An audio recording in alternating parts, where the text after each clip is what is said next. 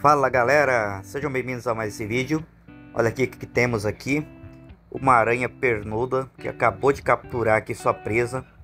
E tá aqui enrolando é, essa mosca, né?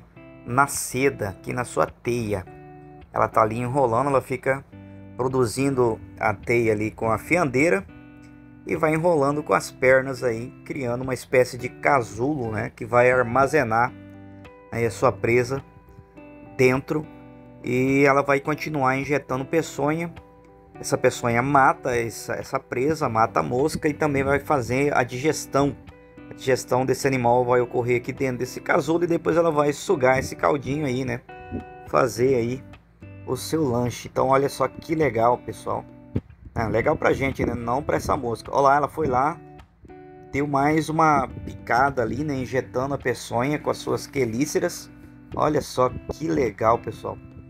Ela tá ali, né, dando aí o seu tiro de misericórdia nessa mosca, injetando a peçonha, mais toxinas para acabar de finalizar essa mosca e também fazer a digestão. Olha só, pessoal. Isso é a natureza, né? Isso é a natureza presa e o predador. Né? Aí o predador é a nossa querida aranha pernuda tem esse nome justamente por causa dessas pernas dela que são muito compridas. E ela está ali injetando a sua, sua peçonha neste outro inseto ali. Olha só, pessoal, bem de pertinho. Que imagem top, que imagem top. Isso é a natureza, né?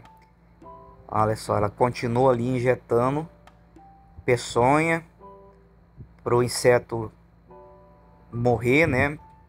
sossegar e aí fazer a digestão. Então essa é a aranha pernuda. Olha lá, o inseto ainda está se movimentando, está tentando se movimentar ali, mexeu a patinha, mas não tem chance mais não. Não tem mais chance, pessoal. Bom, pessoal, vamos ficando por aqui. Espero que vocês tenham gostado desse vídeo. Deixe seu like, deixe seu comentário, compartilhe com seus amigos nas redes sociais. E se você não é inscrito, se inscreva. Um forte abraço e até o próximo vídeo aqui no canal Biologia Legal.